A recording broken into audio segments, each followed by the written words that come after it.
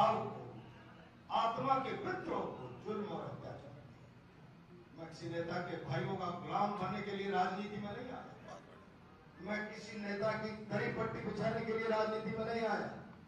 मैं सिद्धांतों से प्रेरित होकर जीवन मूल्य और संस्कारों से अपने आप को छोड़कर इस राजनीति के मैदान में आया हूँ वो राजनीति का चेहरा मोहरा एक व्यक्ति की गुलामी और उसकी दरी पट्टी उठाने तक सीमित हो गया है और आज जब से तीन दिन से लगातार कांग्रेस में मेरे आने की चर्चाएँ चल रही है हज़ारों टेलीफोन हज़ारों टेलीफोन प्रहलाद गुंजन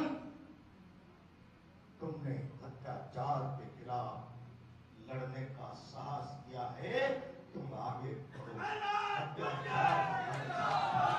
आगे बढ़ो हम अत्याचार के साथ। मैं इतना आश्वस्त करता हूँ जितनी मेरी संकल्प क्षमता है, जितना मैंने राजनीति में काम को सीखा है, मैं पूरी ताकत और ज़िम्मेदारी से आरोपी में कांग्रेस को ताकत देने के लिए पूरी ऊर्जा कांग्रेस के मौजूदा नेतृत्व के साथ मिलकर लगाऊँगा। आज यहाँ पर माननीय धारीवाल जी मौजूद नहीं है। वरिष्ठ नेता है, कोटा के लिए उनका बड़ा योगदान है। यहाँ सारे विधायक हैं, सारे प्रत्याशी हैं। इन सब लोगों को, इनके विचार को, इनकी बात को सुनकर, समझकर एक सहयोगी के नाते हम सब एक टीम वर्क के नाते काम करेंगे।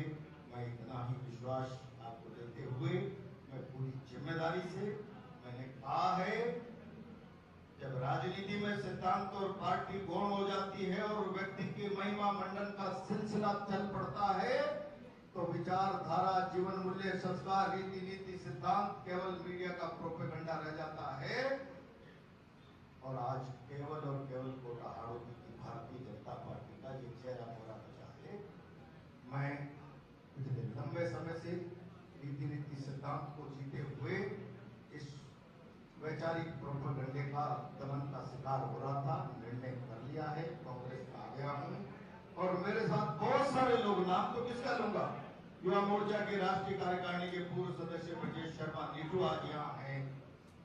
भारतीय जनता पार्टी के पूर्व जिला उपाध्यक्ष मुरलीधर लोधा यहाँ है। मंडल अध्यक्ष किशन प्रजापति, सत्तू लोधा, पंकज साहू यहाँ है। हमारे पार्षद बलविंदर सिंह, नवल सिंह आड़ा विकास कंवर, वरिष्ठ नेता दीपक चौधरी, संदीप प्रजापति, पार्षद मोहम्मद सनी राजेंद्र केवट योगेंद्र टोनी मनीष गुजर युवा मोर्चे के पूर्व जिलाध्यक्ष पौमी एससी मोर्चा के जिलाध्यक्ष राकेश सफेदा पार्षद बीरबल लोधा घनश्याम कुमार जतिन लोधा जो पार्षद के कैंडिडेट रहे बहुत सारे लोग, मैं कईयों के नाम भूल जाऊँ क्योंकि अभी अभी कहा है कि प्रमुख लोगों के नाम तो मैं बता दूँ।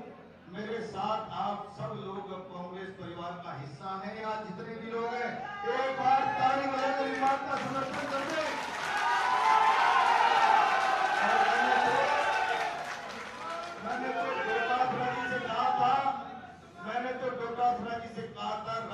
10 बजे भी इस बात को कंफर्म कर दीजिए कि कल शाम को 6 बजे कोटा में सदस्यता दिलाएँगे।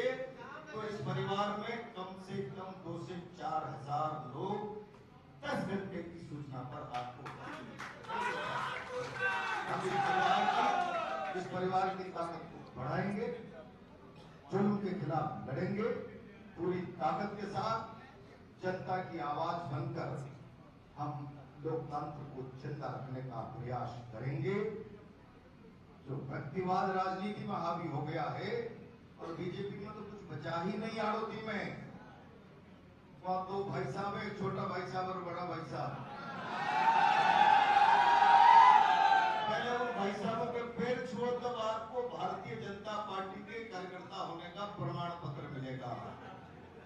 लाल गुंजल किसी के छोटे बड़े भाई के सामने नहीं, अपने से, अपने स्वार्थ और सदस्यता के लिए नहीं। आदर सम्मान के लिए तो गहलोत जी बड़े हैं तो मैं आशीर्वाद ले सकता हूँ। लेकिन कोई इस भाव से, कि गुलामी की मानसिकता से हमारे सामने नतमस्तक हो वही बीजेपी में ज़िंदा रहेगा, ये कभी जीवन में संभव नहीं हो सकता। और इस सारी चीज़ से त्रस्त होकर एक तरफ़ खुददारी और एक तरफ़ खरीदारी।